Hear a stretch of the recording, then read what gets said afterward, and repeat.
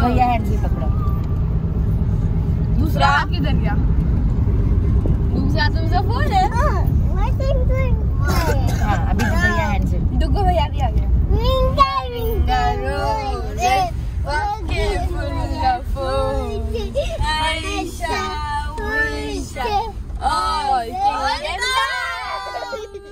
Yeah!